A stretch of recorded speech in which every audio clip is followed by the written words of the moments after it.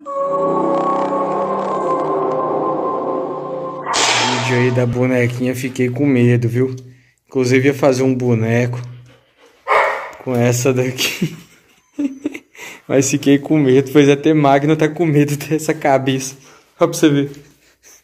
Aqui. Olha, ele tá correndo, olha lá. Olha lá. Vem cá, Magno. Olha lá. Ele não quer nem saber da cabeça aí pra você ver.